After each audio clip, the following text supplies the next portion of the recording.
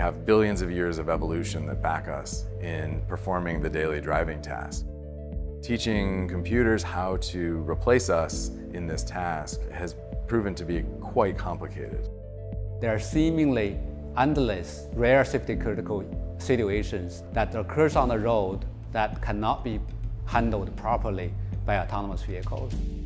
In real-world testing environments, it can take billions of miles for an autonomous vehicle to repeatedly experience rare dangerous events. This makes it time-consuming and expensive to validate their safety performance, slowing down companies deploying AVs that are fully autonomous. Now, Michigan engineering researchers are using artificial intelligence to train virtual vehicles to perform adversarial behaviors that can challenge autonomous vehicles. Instead of testing autonomous vehicle in a naturalistic driving environment, where safety critical events are rare, we challenge autonomous vehicle using intelligent testing environment, which safety critical events are much more frequent.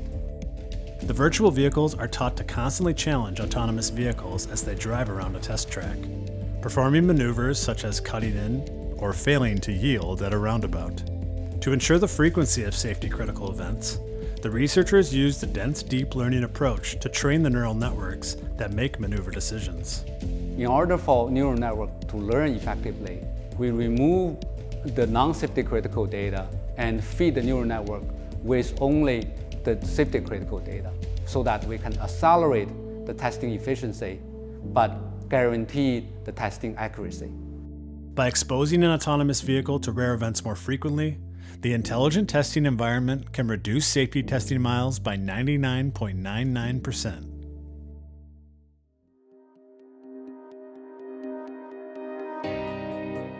If we're going to do this in the time frames that we want to, we're going to need a way for our software to experience all of the things that we might encounter over a lifetime of driving a car. We can demonstrate to consumers that autonomous vehicle has the potential to have comparable performance like human drivers. We are not there yet, but we are on the right track.